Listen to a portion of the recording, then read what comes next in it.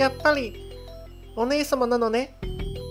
千鶴その若き草薙と八神を導きなさい。何がどうなってるんだ？あいつは何者だったんだ？あの人は今は亡き私の姉。私たちは二人で封じられしオロチを守ってきた。その姉貴か。なぜ？俺たちと。私たち三人の力が解放されたオロチの力を再び封じることができるかどうかを試すためよ。オロチの力？そう。ルガールが手に入れようとしてできなかった力。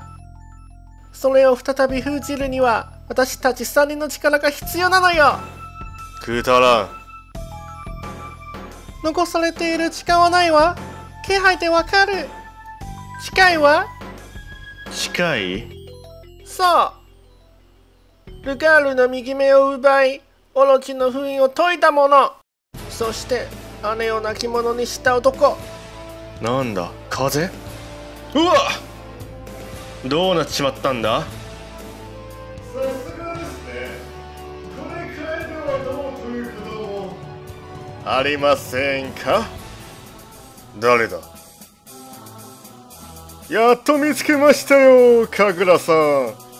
事の次第を拝見させていただきました人の手を借りてのオロチを封じるとは。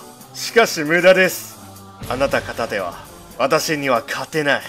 したがって残された選択肢は2つ。戦って死ぬか。戦わずして死ぬか。いかがしますか？不名誉な二者択一ね。答えはどちらもノーだ。土に叩き伏せられるのはゲーニッツお前の方だぜ 愚かなことです。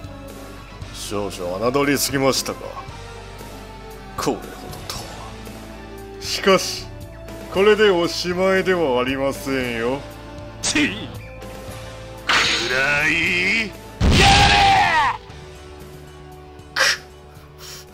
なぜ風が深いなぜだ。なぜ赤い俺の炎が赤いわけがない。払う者草薙封ずる者八神。あなたたちは今1800年前の国をなぞらえたのよ。オロチは八神の赤い炎で封じられ草薙によってなぎ払われた。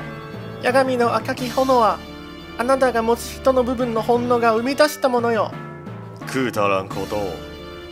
あなたが操る青き炎それはあなたに流れるオロチの血から生まれるもの。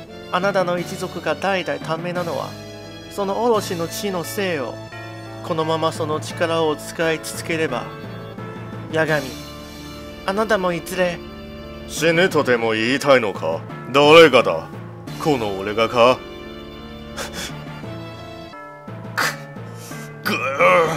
目を覚まして草薙と八神の争いなど無益なことよ。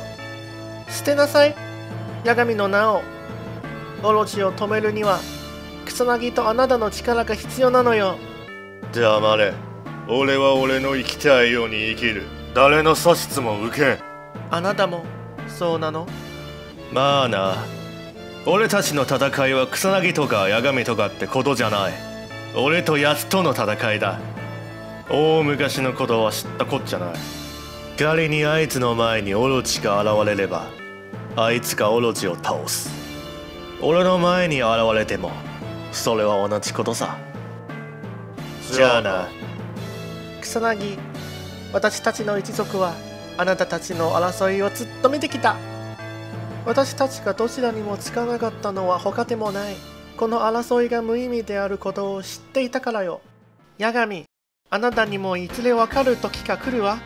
そして草薙あなたもその血の定めから逃れられないことを知るでしょう。それまでは私も